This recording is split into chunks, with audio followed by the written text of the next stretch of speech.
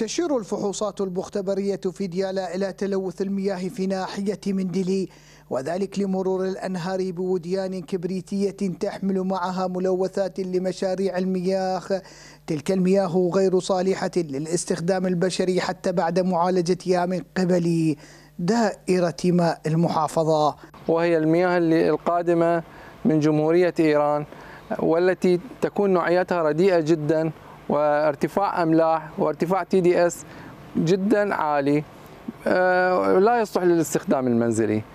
آه، فالخيار فكان أمام مديرية ماء دياله خيار واحد هو هو تعقيم هذا هذه المياه ومحاولة تصفيتها قدر الإمكان.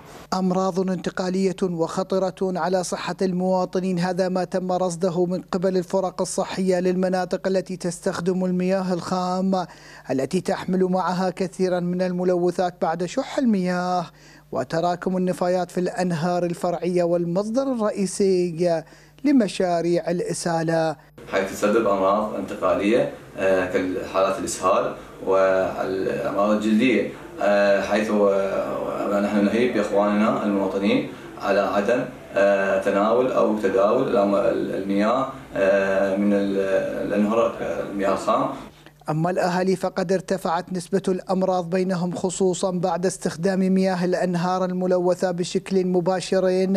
وذلك لارتفاع أسعار المياه الصالحة للشرب التي تصل إلى قراهم بالمقطورات الأهلية حيث تتجاوز خمسة عشر ألف دينار.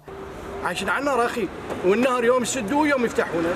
بيعوا بكيفهم والنهر متلوث. يا أخي هسه تروح تلقى أشكال حيوانات بيه ميته فاصله وإحنا هذا ناخذه نسبح به ونغسل به وننظف به عايشين على النهر عمي كفلك الله. وتبقى هذه القرى تعاني من أزمة مياه صالحة للاستخدام مع استمرار جريان مياه ملوثة من دول الجوار بعد جفاف الأنهار الفرعية العراقية. من محافظة دياله عمر العبيدي قناة الفلوجة.